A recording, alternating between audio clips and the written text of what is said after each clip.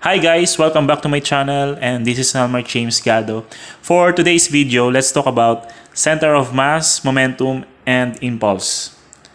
So in this video, you are expected to differentiate center of mass and center of gravity, relate the motion of center of mass of a system to the momentum and net external force acting on the system, relate the momentum, impulse, force, and the time of contact in a system.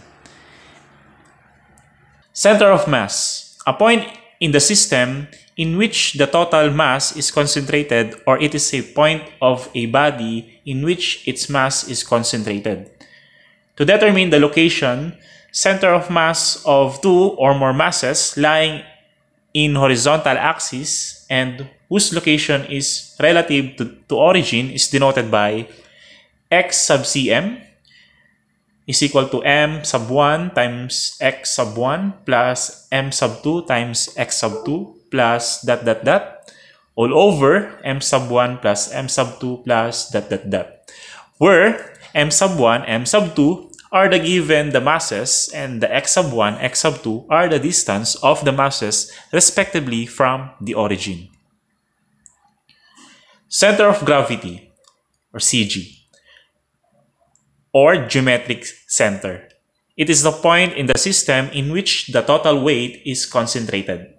Take note, the center of gravity of any regular objects, such as sphere, cube, or rod, is at its center, while the center of gravity of irregular shape is at the point near to the center of its mass. The center of gravity of two or more objects is denoted by x sub cg is equal to w sub 1 times x sub 1 plus w sub 2 times x sub 2 plus dot dot dot all over w sub 1 plus w sub 2 plus dot dot dot where w sub 1, w sub 2 are the given the weights and the x sub 1, x sub 2 are center of gravity of the objects respectively. Momentum or linear momentum, denoted by P. Property of moving object, it is a vector quantity. Inertia in motion, and the product of mass and velocity. Momentum is equal to mass times velocity. Conservation of linear momentum. In the absence of external force that act on a system, the total linear momentum in the system will remain constant. Momentum lost is equal to momentum gain.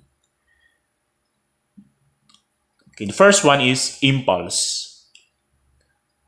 Impulse is the product of force and time interval.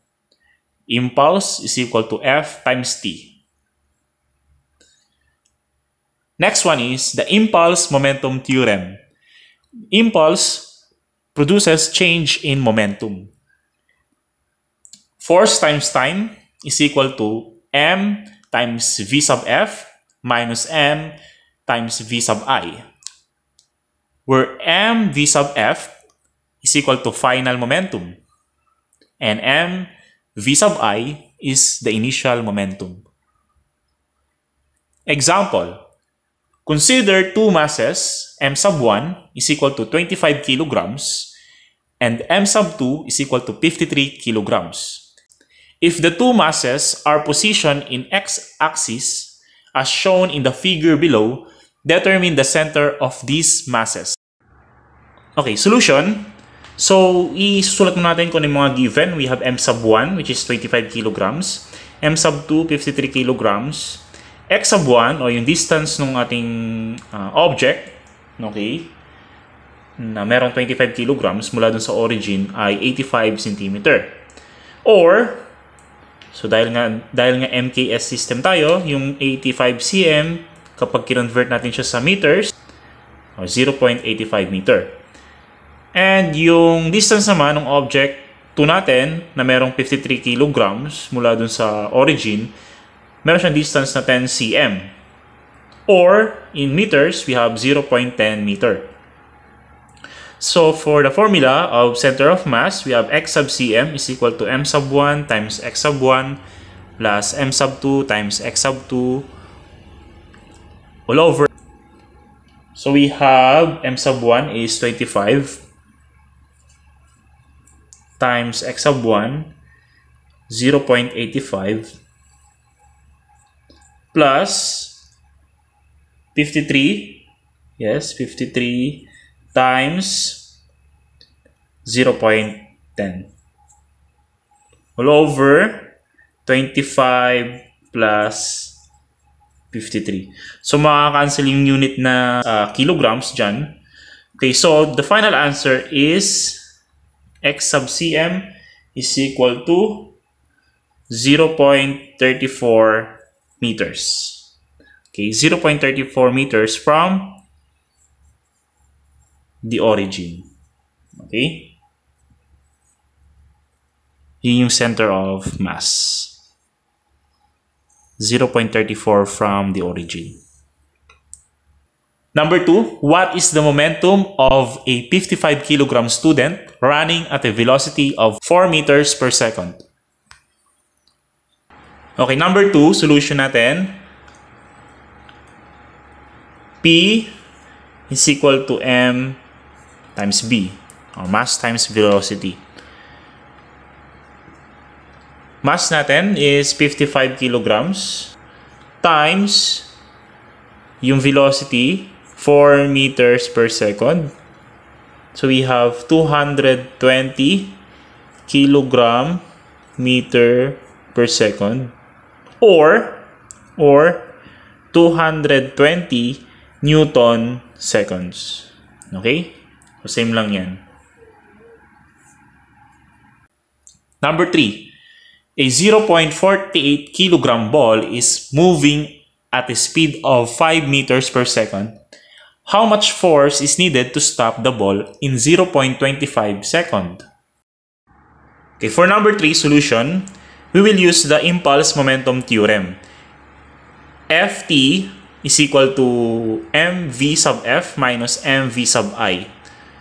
Force times time is equal to mass times velocity, final velocity minus mass times initial velocity. So the given are mass is equal to 0.48 kilograms. Uh, initial velocity is equal to 5 meters per second. So sinabi doon na how much force is needed to stop. Meaning to say that our final velocity is 0. Time is 0.25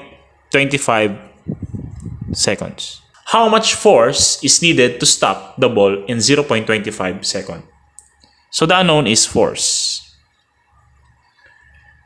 So let's plug, plug in this formula. F times 0.25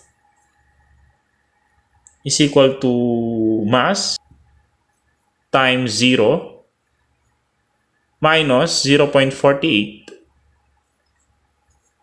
times 5. And this is 0. We have F is equal to 0.25 Okay, we have here negative 2.4.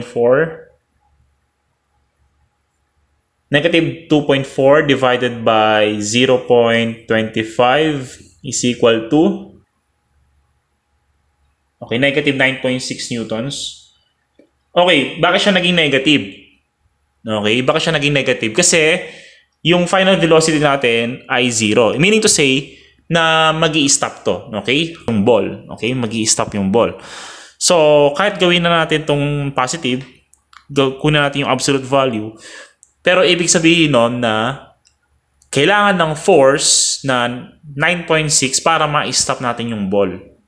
Okay? So, gawin nyo ng absolute value. Pero ibig sabihin lang kasi nun, kaya na negative, yung ating ball is going to stop. Okay? 9.6 newtons.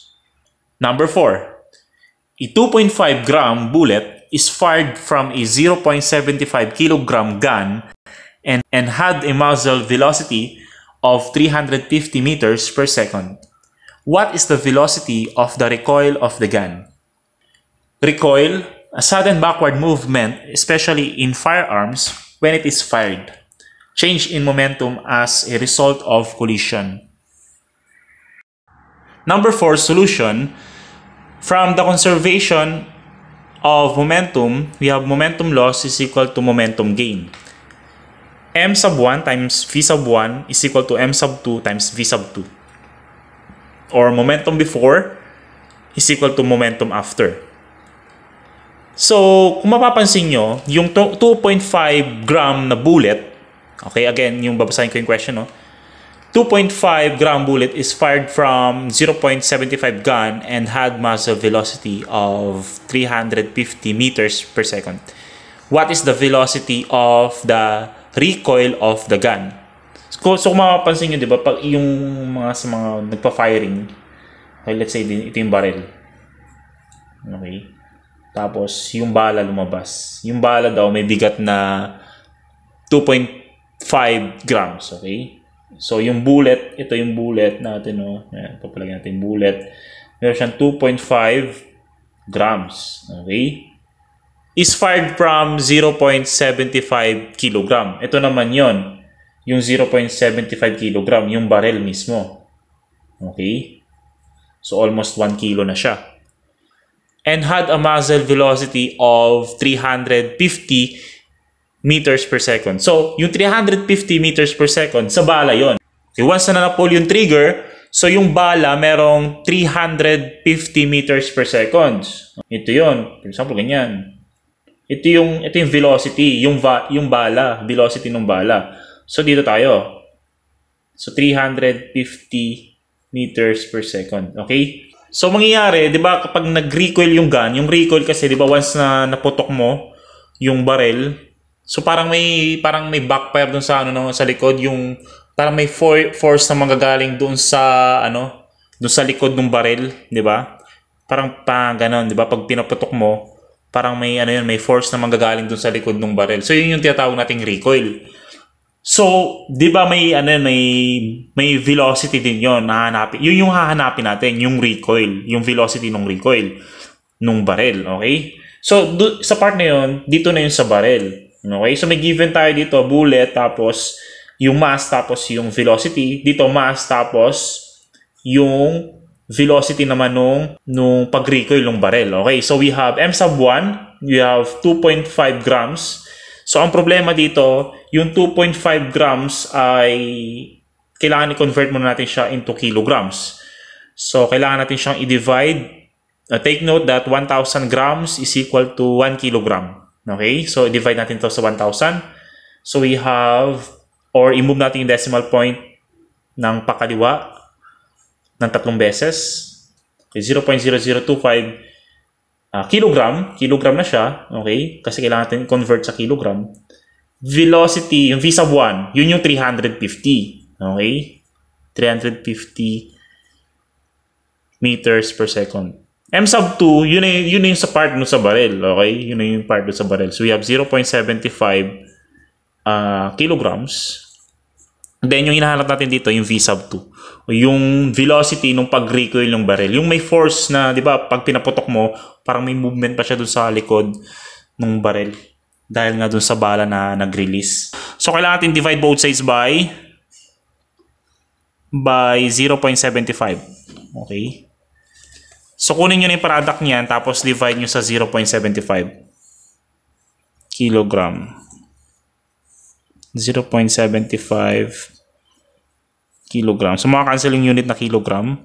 Ang matitira ay in terms of meters per second. So, we have V sub 2. V sub 2 is equal to 1 point, round off na natin, 1.17 meters per second. Okay?